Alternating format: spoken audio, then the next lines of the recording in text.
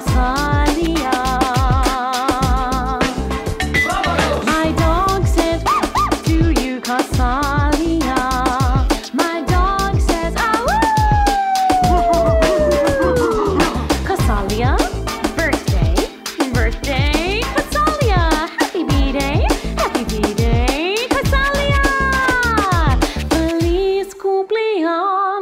us, Kausalya, yeah.